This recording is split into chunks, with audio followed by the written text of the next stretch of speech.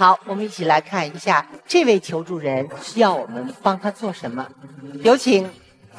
我叫马乃天，来自江苏盐城，今年五十五岁。原本我有一个幸福的七口之家，二十六年前有三个离开了我，当时我就下了一个决心。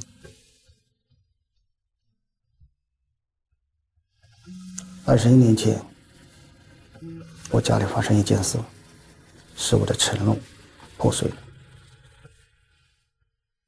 七口之家本该生活美满、阖家幸福，可他为何愁眉不展？二十六年前发生了什么，让三个家人离他而去？面对家人的离去，他下了一个什么样的决心？二十一年前，又是什么将他彻底击垮？在他身上，到底发生了什么？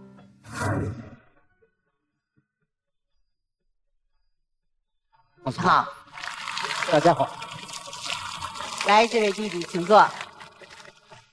我能猜一下你年龄吗？四十五六。那我是六二年，六二年，那你还小。来，请坐。你寻找什么人？我寻找我丢失二十一年的小儿子马亮。一九九五年，我的儿子马亮在北京火车站丢失。二十一年了，我天天在祈祷，我希望他哪一天能出现在我的眼前。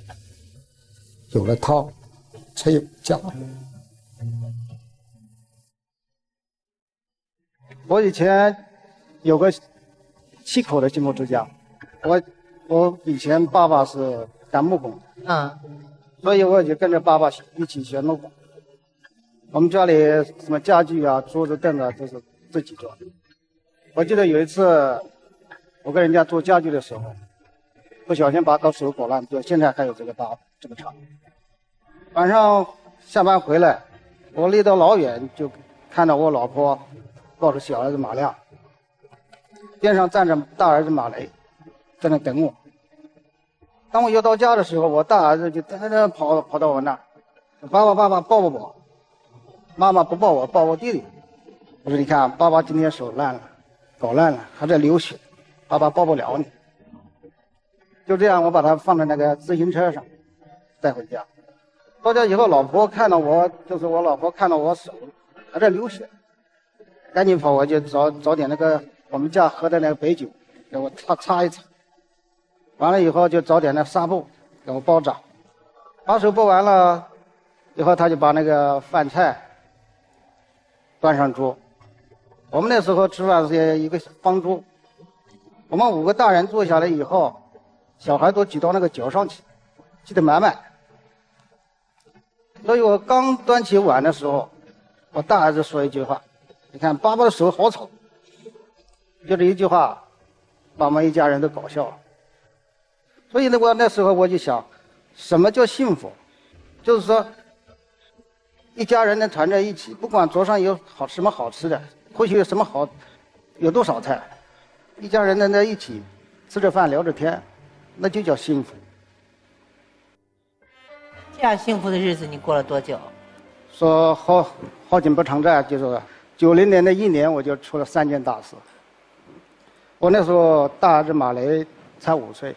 小儿子也就一岁半，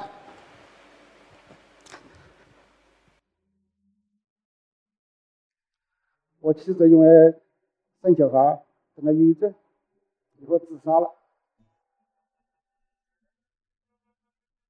那年自杀的。后来不到一个月，我爸爸车查出食道癌。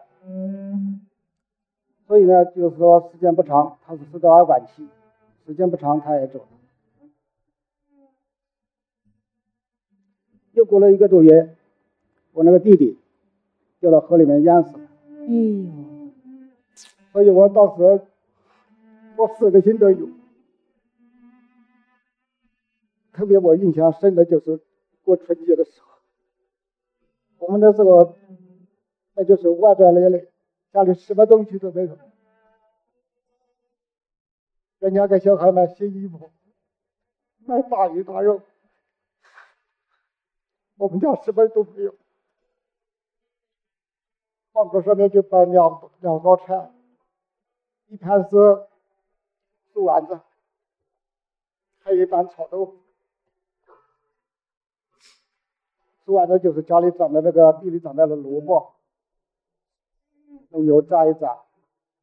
豆腐嘛，就是家里那个黄豆加工一下。我们当时四个人做，一人做一边，非常累。我看到四个人坐在方桌边，一人一边，我挺难受的。以前我们一家七口坐在方桌上，挤得满满的，挺热闹。现在冷冷清清的，所以我就下定决心，我要保护这个家，要守住这个家，我不能再让任何人从我身边失去。所以我就后来我跟妈跟我妈商量，我不能这样老在家里，老在家里没钱也不行，几个人生活要吃饭了。后来我就把两个小孩留给我妈妈照看，我一个人我就来北京。我找到一个粮店，一天下来我和几几盆面，每盆面和下来是腰酸背痛，有时候衣服都湿了，但没办法。我只想什么，苦点累点没什么，我多挣点钱，妈妈和儿子才能过得好点。我干了一年多，直到九五年，小孩放暑假的时候，我就刚才说了，我是想叫我妈带两孩子到北京来见见世面。那不正好我们老乡有几个老乡也来北京玩，所以我妈就跟他们一起坐火车过来。当时到火车站，下了火车，他就放在这，用老我们别的老乡电话转到我那里，说你妈来了，在火车站你们去人接。正好是中午十一点多，前面排着老长的队。后来我有一个妹婿在那在跟我在一起，他看到这种情况，他就说：“二哥。”我去接吧，反正那火车站我也熟，就这样。我说那也好，那你去吧。这时候他回来了，我说人呢？他说没找到。当时我就懵了，下就那次丢了三个人在火车站。对，我听说他们三个一下子都丢了，当时我就像天塌下来一样。还剩我一个，我不知道怎么活。找了一个晚上，什么也没找到。所以第二天，我两个姐夫、我哥从老家就赶过来，我就把地图拿出来让他们看，我说我们分头行动找。就这样，我们带点饼、馒头、水，就这样。饿了就吃点，渴了就喝点，就这样，我们在北京找了十几天，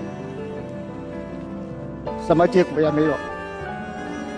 就找到第十三天的那一天，我们那天我记得是去往西边找一个收容所，我当时就带带着这个小孩照片，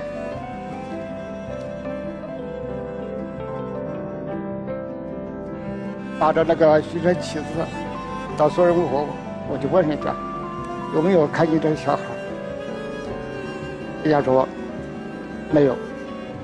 我们刚走不远，我觉得我后面动了一下，然后我一摸屁股，后面口袋里面钱包不见了。我回过头一看，后面站着一个小伙子，边上还有四五个。我说你干嘛的？我一把抓住他的手往上一左，那个钱包从他胳肢窝里面掉下来。当时我什么也没想。我把钱包抢过来，因为我当时这个照片就放在钱包里，我没有这个照片，我们没就没办法找孩子。然后我那个老乡就跟我一起去的，就拉着我就跑，正好来了一趟公交车，我们也没时间看几路车，反正就开门就上去。我们那时候出去都是一人管一边，你看这边，我看那边，都是这样做。刚下去不到二百米，我一下子发现我大儿子马雷就在那个门口玩。我当时我不敢相信我的眼睛，我擦了擦眼睛一看还是，当时我就跑到司机那，我说：“同志，师傅，给你停车停车。”车子刚停下来，门一开我就冲出去，往回跑。说实在话，我那时候到那地方，一把抱着把他抱在怀里，我眼泪止不住的就流流了出来。弟弟和奶奶呢？我就问他怎么回事，我说弟弟也奶奶跟弟弟弄哪去了？他就说我也不知道。然后我儿子多大？那时候大儿子十岁，啊，丢的时候小儿子七岁。这时候我才抬起头。看看门前是派出所，我就把儿子带带到里边，正好有个民警同志在那值班，然后我就把这个事情前后经过给他一说。他说当时这个小孩在这几天了，我们问他是哪里的，他说是安徽响水的，我们是江苏响水，他说是安徽响水。他说那好，那你签个字，可以带走。就这样，我把小孩带走。后来我打电话给他们，我说大儿子马雷找到了。他们挺高兴。刚打完，我想带着马雷再去找马亮。不到两个小时，我姐夫打电话给我，说你妈找到了。当时我高兴的不得了，我说你们在哪找到的？怎么找到的？他说在火车站，还是在火车站。当时就不成人了，说披头散发，浑身脏的不得了。后来我赶紧跑过去，带着孩子过去。把他弄到我住的地方，那怎么会丢呢？过了三四天，我妈好一点，我就问我妈，我说你们这跑哪去了？怎么回事？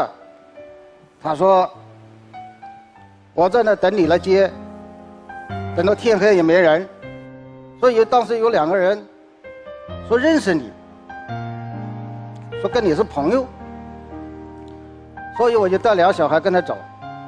后来说走不多不远，马雷把他奶奶的衣服拽一下，说奶奶他身上有刀。我妈一看说有刀，就把小孩一搀，回头跑。跑那么多远，我妈把手一松，两个小孩都分头跑了。这个小孩问这，那小孩问那，我妈再喊也听不到，追也追不上。找了四五天，说我也不想活了。他就跳河了，跳河正好被一个好心人给救起来，所以他也不吃不喝，也不知道哪里是哪里，反正见路就找。后来又稀里糊涂的到了火车站，正好那一天被我姐夫他们找到了。后来我想，我说那你们在哪？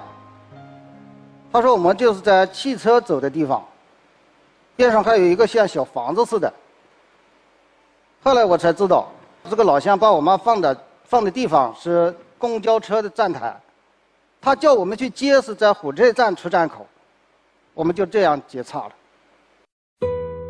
当时我这家又当儿子，又当爹，又当妈，不管怎么困难，我都要撑下去。我在想，只要家好，我做什么也没关系。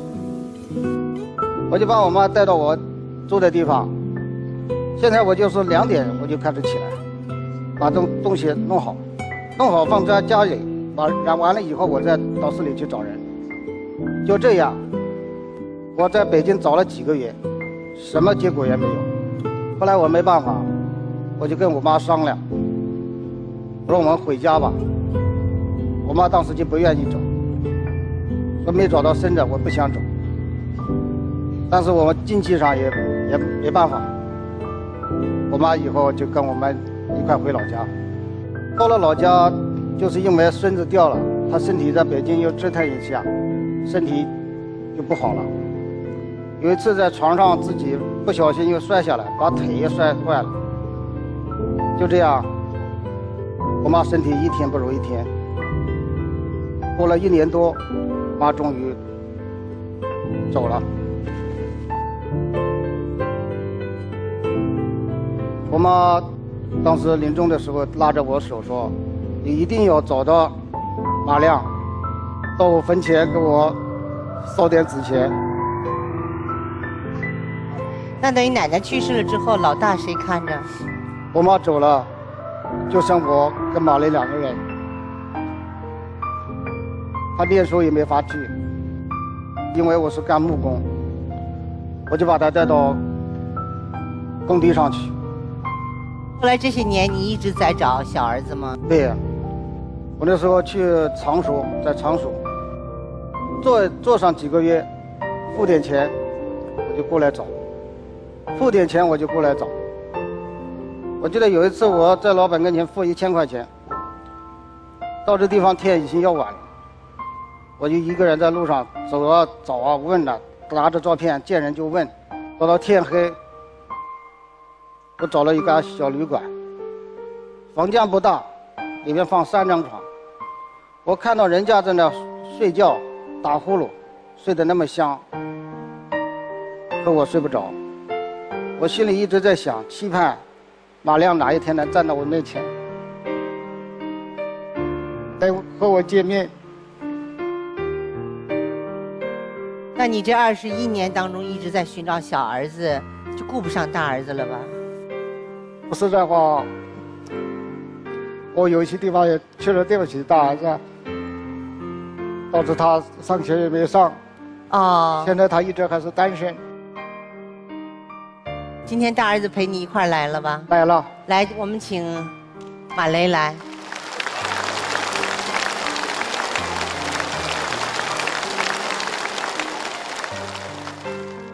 小时候弟弟，你还记得吗？什么样？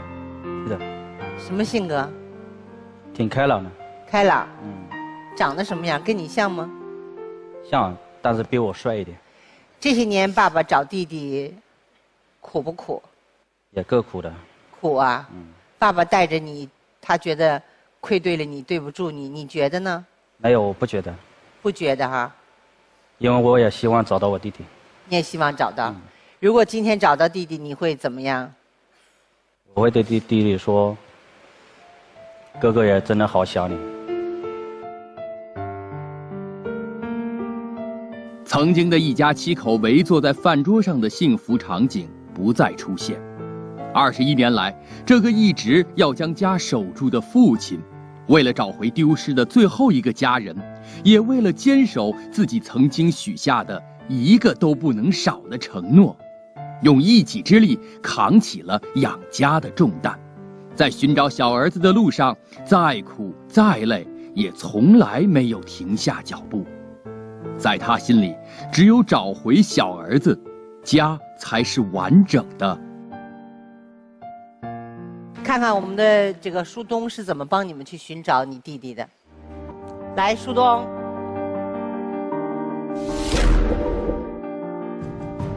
马乃田先生您好，我是等着我寻人团的舒东，在我们的融媒体平台上啊，我们收到了您发来的寻人报名求助，我们也是第一时间帮您展开了寻找。在我们的寻找过程中啊，我们。发现，在我们的融媒体平台上，还有一个孩子发来的这个求助寻亲的帖子，其中呢提到的一些信息，包括说，呃，九五年丢失，膝盖处有疤痕，爸爸曾经是木匠，哎，这三个信息呢，跟您这个提供的一些信息啊，非常的近似，但是呢，您说您的孩子叫马亮亮，您自己的名字叫做马乃田，这个信息跟这个孩子的这个寻亲帖呢，还是有一些出入的。我记得我的名字是叫马玲玲，我的爸爸叫马拉提，他是个木工。我不知道我什么时候被拐。对于我小时候的事情，我已经记不清了。印象最深的就是我被走的时候被他运在棺材里面，那里面有四五个小孩，当时我们都害怕，都在拼命的喊，就感觉自己透不过气了一样。就是拼命的在挣扎，就是想出来，但是我们都在喊，就是没人搭理我。等棺材打开时，他们都死了，只有我一个人活了下来。我最后是被警察叔叔给解救的。除了这些，我已经什么都不记得了，所以别人都说我是一个失忆的小孩。其实我这些年都在找我的家人，我都不知道我家在哪，我也不知道家里还有什么人，我也不知道他是不是他们不要我，可我妈呀。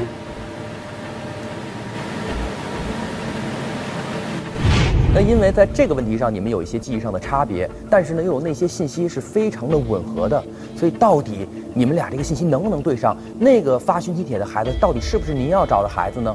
我们还是要对你们双方进行采写比对，通过科学的手段来进行检测。请打开希望之门。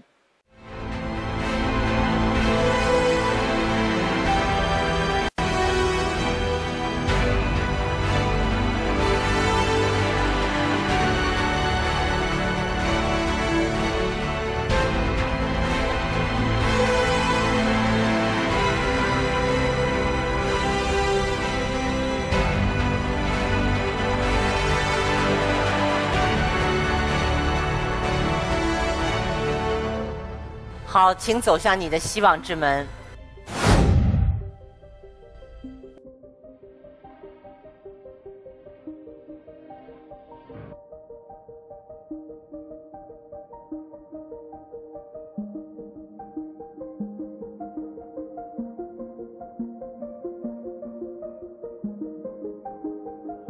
这么多年，不管多苦多累，我一定要把这个家守。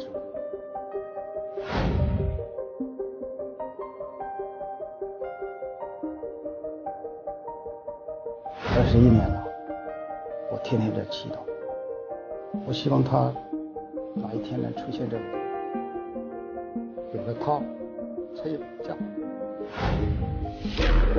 准备好了吧？准备好了。为缘寻找，为爱坚守，请开门。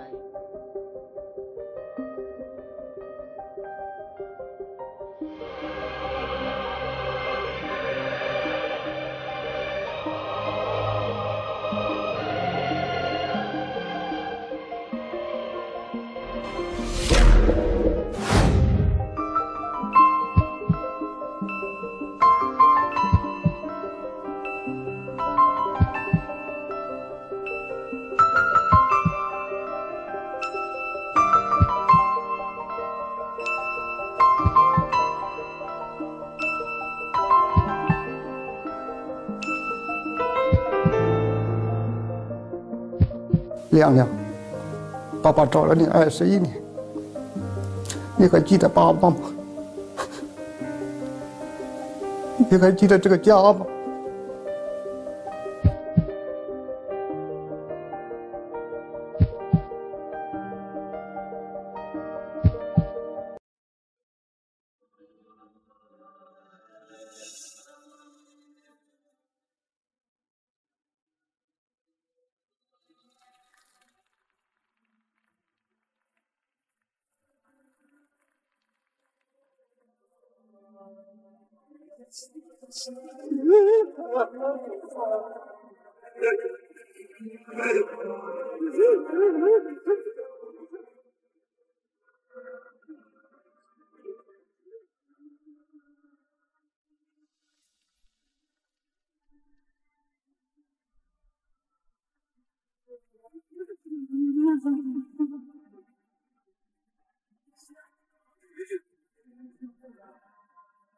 来，把弟弟和爸爸过来。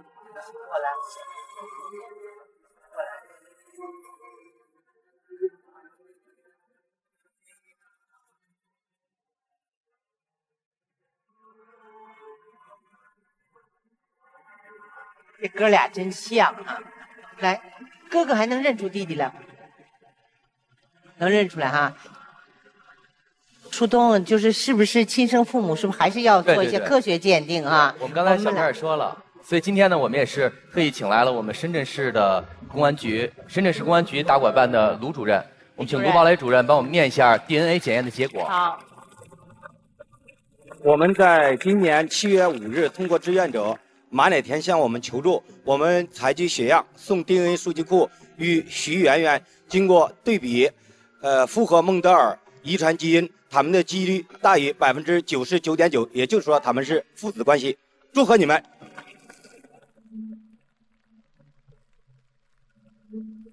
来，弟弟，你跟我们说一说，你怎么好像刚才你说你被拐到哪儿了？那时候就是小时候记忆不是不是太清楚了，像我们有四五个小孩吧，都在一个棺材里边。棺材里头？啊，就是往哪运？反正我们打开的时候是在一个安徽的一个一个小山村那个脚下打开的。卖在大山里的什么人家？就是也是一个瓦房，就是一户人家。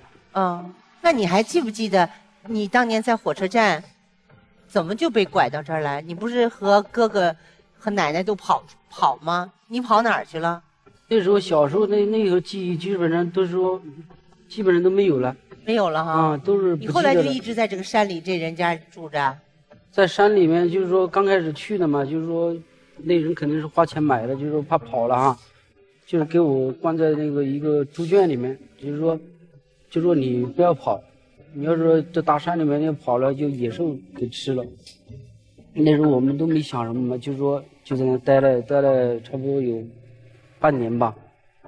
最后就是说有山上，就是说就是采药了还是干嘛的哈，就是去了，我就说拼命的喊喊了，就是说那个人就听到我的呼喊的声音了，就是他们就就是说去当地派出所就是报警了嘛。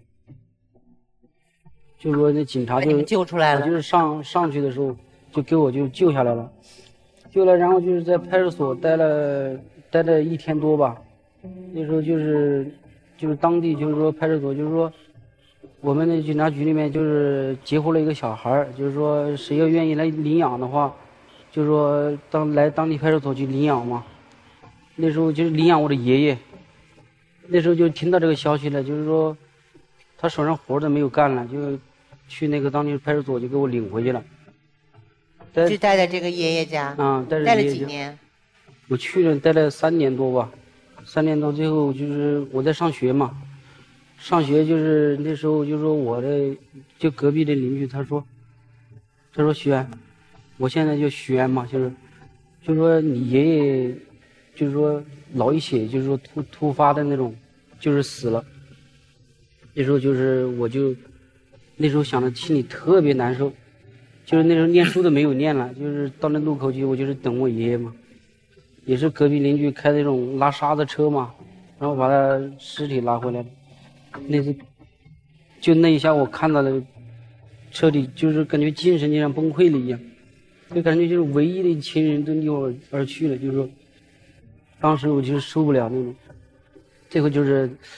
我爷爷最后把这葬礼什么都弄好了呀，就是在家里又待了一年多，最后上学不想上了，就是去了江苏是大邑那边，跟人家做衣服，就是跟他们做，就是早上七点多起来嘛，七点多起来一直上到凌晨三点多，那时候差不多一天睡只睡两三个小时，最后做了十多天吧，就是感觉就是受不了了，那时候我就心里就想好了，我说不想在这干了。现在你做什么？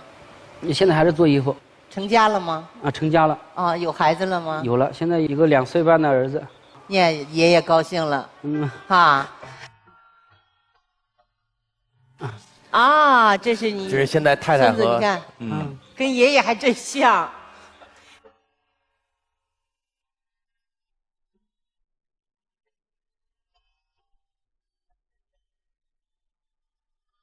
因为在一九九五年啊。如果一个孩子被拐，从北京弄一个棺材把他装着朝安徽运是不不太可能，因为反倒是太扎眼了。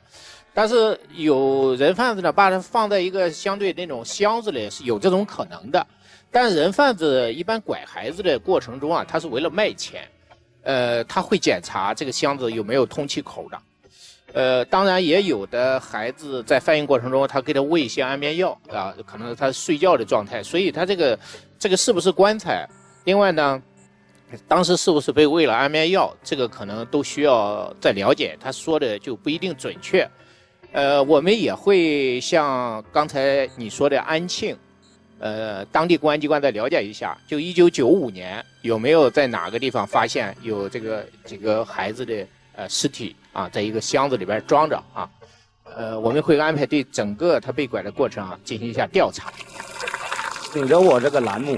是实实在在为我们老百姓办事的。我们广大呃电视机前坐的观众都喜欢看到这个节目。我代表我们深圳打拐办的呃同志，还有我深圳来的两位朋友，为圆梦基金捐款五万元，为他们多找一些小孩做一点小小的贡献。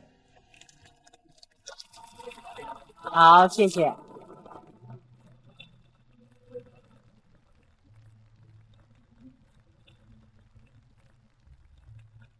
我们基金会会把这笔钱用在圆梦基金对这个困难的寻亲人的资助，太对了，以及支持这个公益寻人这个项目。那么我们这个款项的使用每年都是经过年审的，都有审计。我们的所有的支出和收入都会在我们的网站上公示，大家可以去查询。太对了，对对对，嗯，谢谢。老师，我多说一句，其实呢，我们。跟马亮亮接触的时候，也发现说，其实孩子挺可怜的，因为就是因为当年丢失的这一个事件，给他造成了很大的心理阴影，所以从小时候到他六七岁的这一段记忆几乎全部丢失了，应该是他人生中一个很大的遗憾。而他的妻子呢，其实对他特别好，两个人工作很忙，然后又支持他找家，在这个情况下连婚礼都没办。他跟我们说过一句，他跟妻子承诺说，等我真找着家了，我们把这个婚礼补上。现在我觉得，至少以后。小马，你们全家不会再有这样人生的遗憾了。爷爷给操办婚礼啊！办一下。这个好妻子在哪儿啊？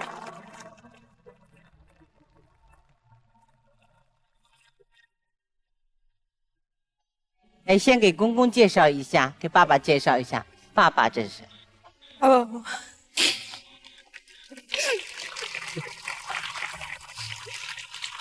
哎，孩子。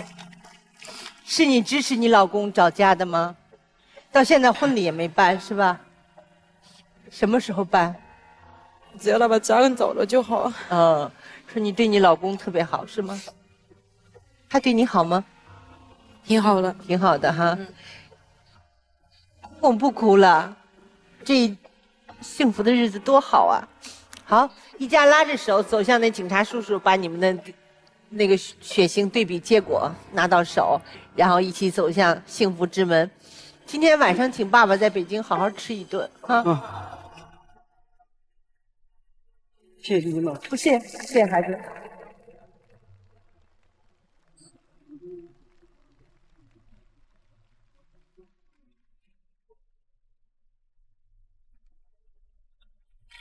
鉴定报告。看着爸爸终于找到了小儿子，可是爸爸一直在哭。我们特别理解他为什么哭。他说：“原来一家人围在一起吃饭就是幸福，现在左边一个大儿子，右边一个小儿子，这也是他的幸福。”二十一年了，我帮着马亮亮，我的家终于圆满。有了两个儿子的陪伴。这位父亲的心里满是欣慰，他用二十一年的时间，终于找回最后一个家人，实现了自己对家的承诺和坚守。相信他们会更加珍惜这份久违的幸福，把幸福永远留在他们一直坚守的家。我们祝福他们阖家欢乐，永远不再分离。